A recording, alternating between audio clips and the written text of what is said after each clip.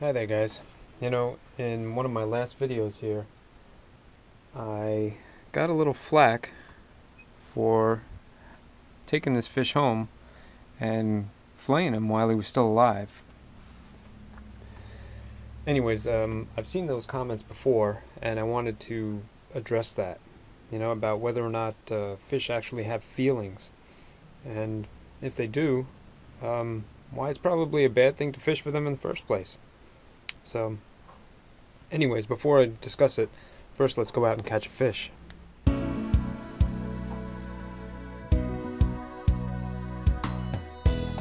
Well, there's the big, mean, rusty hooks that I plan on sinking into a fish's face. Today's lure of choice was a uh, subsurface lure.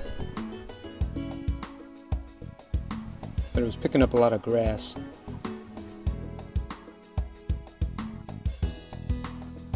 Paddled over to some sandy areas, like this big sandbar right here. There didn't seem to be any fish around. They were all out there, where the grass was thick. It was beautiful. It was really, really thick grass. The type that your the head of your paddle would disappear when you put it down into the grass and here and there there were these potholes. And these potholes were filled with fish and lots and lots of bait fish.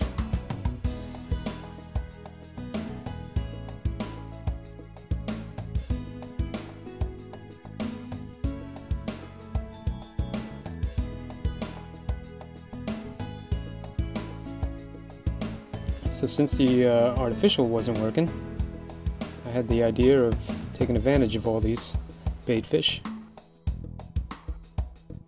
So I got the cast net out.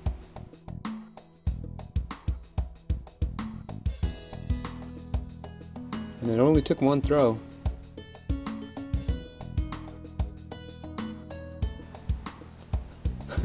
I had myself a net full of little pilchards.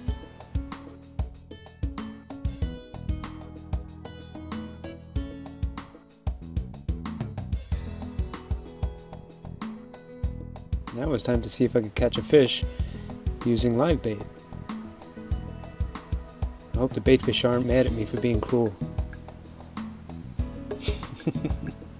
it didn't matter, that little bait fish didn't have long before somebody came up and put him out of his misery.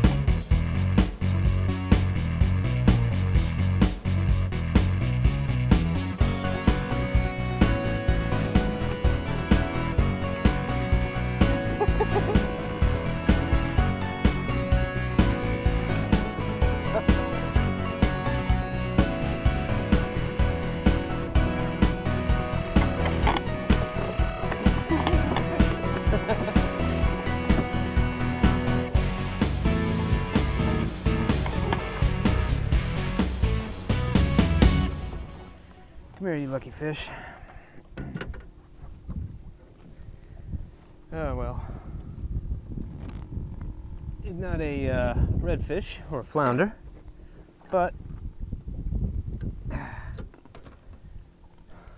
it's not a fish I haven't eaten before. Let me get this hook out of you.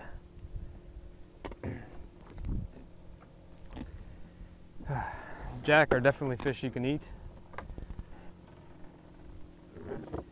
But uh, this particular fish is going to get to go home. Ready? One, two, three.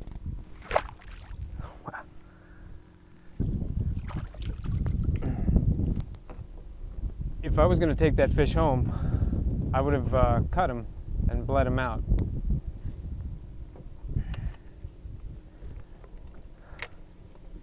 Let me get out of the channel here.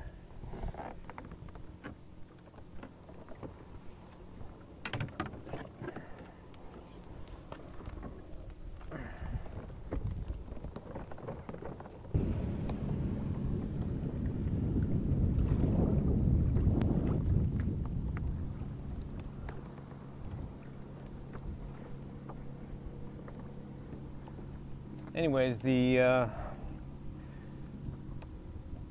the comment that I got, it um, it was about how I should bring a bat with me on the kayak, and if you're going to bring a fish home, you you, you bash them in the brains, and uh, it kills them, so that they don't suffer. And I've, I've been thinking about that comment a lot lately, and it's not the first time I've thought about it, but this is the first time I'm going to address it. Because uh, I come out a lot of times looking to fish just uh, for sport. And um, one of the things about fishing for sport is that a lot of times you bring the fish to the boat and you rip its lip, you know, before you let it go. And there's nothing nice about that either.